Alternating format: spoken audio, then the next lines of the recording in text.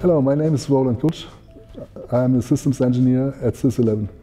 Hello, my name is Dimitri Henning and I'm also a systems engineer at SysEleven. SysEleven is a managed service provider from Berlin, Germany. SysEleven is about 110 people. Uh, we're in business for 11 years. Yeah, we have four main products. We are a network carrier, um, we do managed hosting, uh, we have managed Kubernetes and an OpenStack based cloud.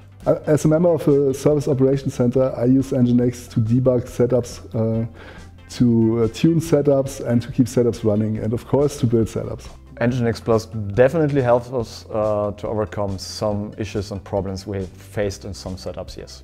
Nginx helped us to uh, overcome the problem of on-the-fly configuration when we, which we need for our uh, cloud gateways. One of the things in case of managed hosting, as we provided, uh, cache purging for specific location specific files was, was an issue for us, so we solved it with it, yes. The most interesting feature of Nginx Plus is uh, on-the-fly configuration, uh, the dashboard for the customers to use, and active health checking.